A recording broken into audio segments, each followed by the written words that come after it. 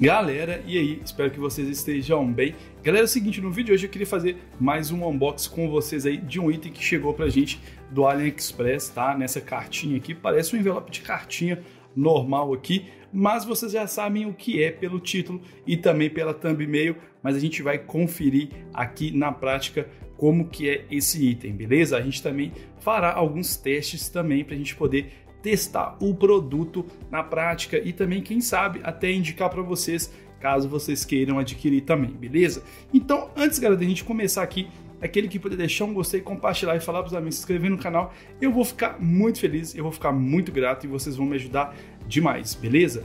Antes da gente abrir aqui, demorou 18 dias, tá? Desde o momento que foi postado até o momento que chegou para mim, tá? Então demorou 18 dias corridos aí. Cara, achei muito rápido. Eu tô assim, eu tô dando sorte nos itens que eu tô comprando no AliExpress. Já comprei um outro item lá no AliExpress, tô esperando chegar. Vamos ver se também vai ter essa média aí de 18 dias, tá?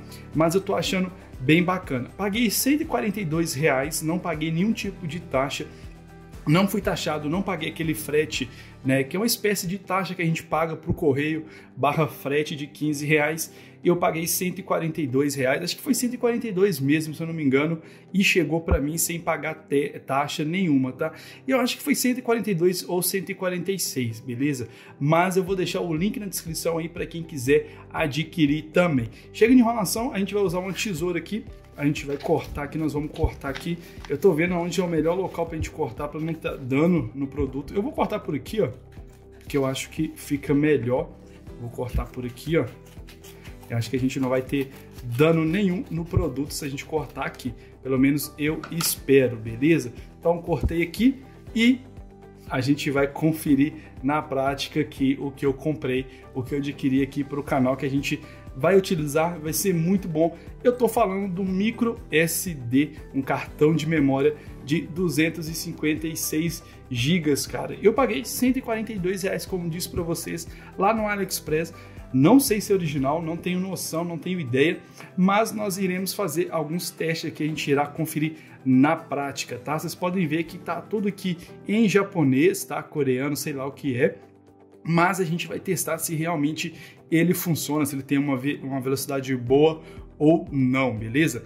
Aqui tá falando que tem uma velocidade de escrita de 100 mbs, né? 100 mbs não, 100 mb, né? Ou seja, 100 megas por segundo. Assim diz o produto e também no site, tá?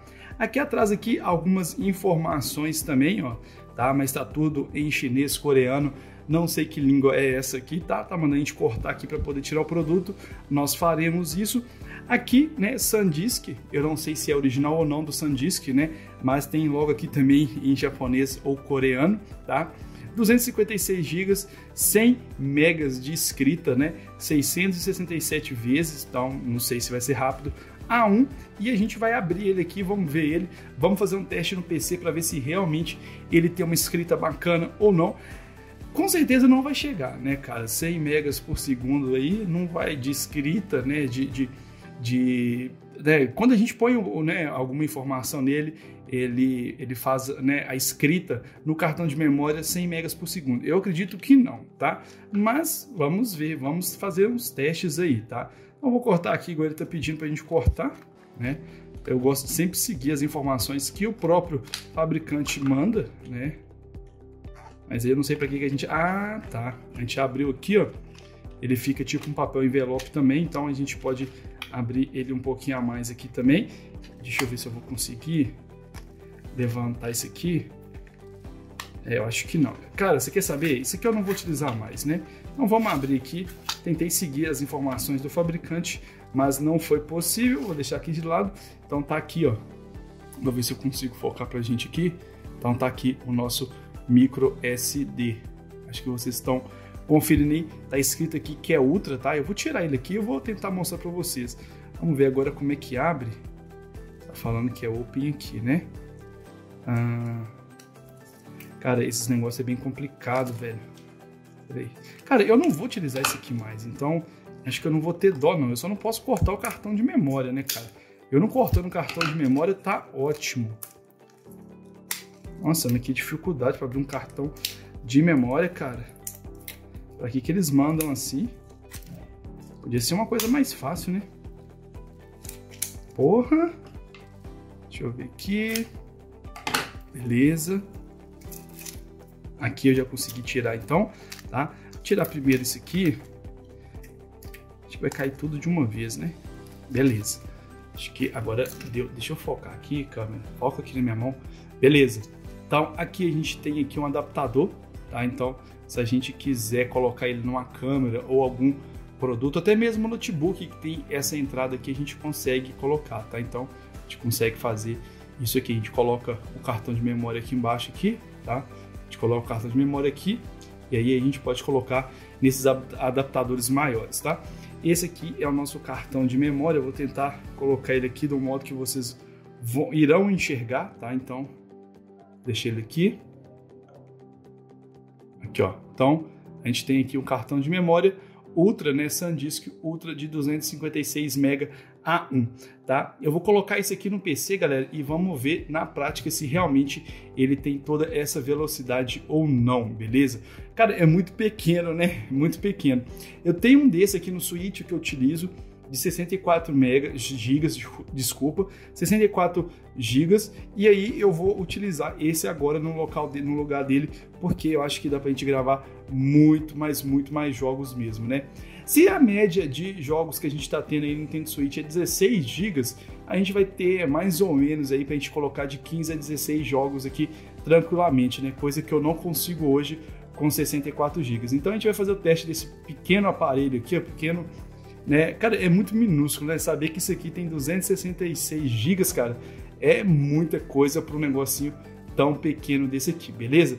Então, fazer o seguinte, vamos mudar aqui a tela, então vamos passar para a tela do PC, vamos conferir na prática como é que é a escrita dele, beleza? Então, aguenta a mão aí. Galera, estamos de volta aqui, então a gente vai fazer o teste agora na prática para ver quanto de memória que a gente tem no SSD, no SSD não, no micro SD. Eu já coloquei aqui no computador através de um adaptador USB para micro USB e a gente micro SD. Cara, eu tô falando tudo errado, mas vamos lá, tá? Então a gente vai vir aqui, ó, nesse computador aqui. Vocês podem ver, galera, que essa, deixa eu aqui, eu vou ver se na hora da edição eu dou um zoom, tá? Então essa repartição F aqui é o do cartão de memória, então a gente tem 238 GB livre, então não veio 256. Não esperava isso mesmo, porque eu sei que consome um pouquinho. Aqui vocês podem ver aqui, ó, que ele tá com 238 GB é, de espaço livre, tá? Então é tranquilo, é aceitável, não tem problema nenhum. O que, que eu vou fazer, galera? Eu vou formatar ele aqui para a gente não ter problema nenhum.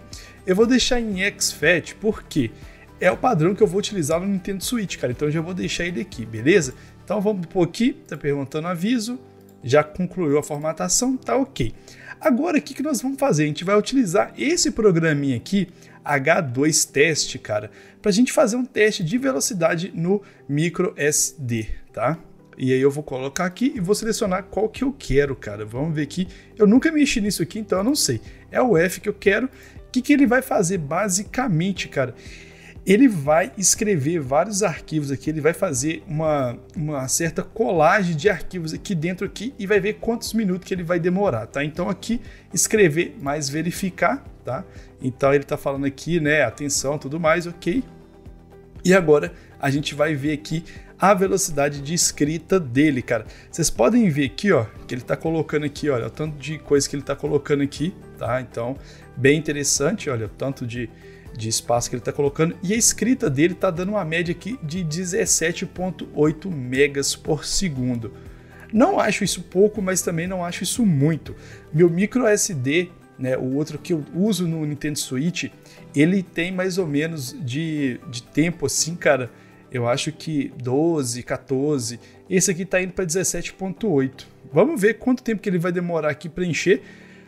Me assusta bastante porque aqui ele está falando, olha, que vai demorar três horas para poder encher ele todo, cara.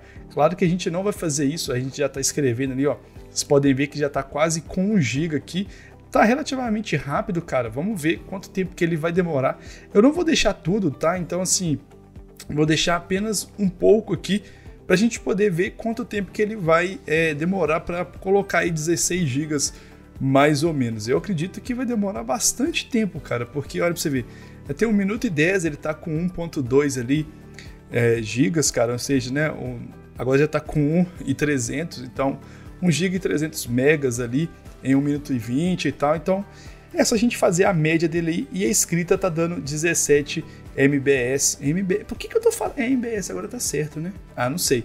Ele tá gravando aí a, 20, a 17.4, 17.8 megas por segundo. E como eu falei para vocês, não acho isso pouco, mas também não acho isso muito, cara. Eu queria que fosse um pouquinho mais rápido, mas fazer o quê, né? Pelo preço que eu paguei, paguei 142 reais, demorou 18 dias para um cartão aí de memória que tem bastante espaço. Acho que vai ser muito bom para usar no Nintendo Switch. Acho que isso não é ruim, né? Fazer o quê? Vida que segue.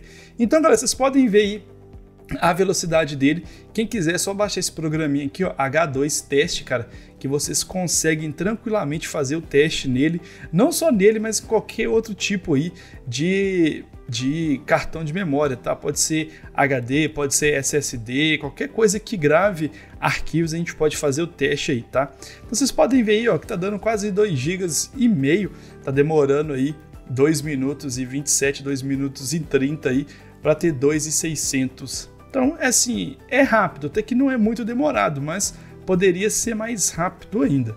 Mas então, galera, basicamente era isso que eu queria mostrar para vocês aí, um unbox, um unbox, oh meu Deus, um unbox barra teste desse aplicativo aí também, né? Porque a gente está fazendo um teste nesse aplicativo, é a primeira vez que eu estou testando, usando, utilizando ele para fazer esse tipo de teste, isso é bem legal. E também um unbox e teste aí do cartão de memória, beleza? Então é isso aí, espero que vocês tenham gostado. Um abraço a todos, até o próximo vídeo e eu fui!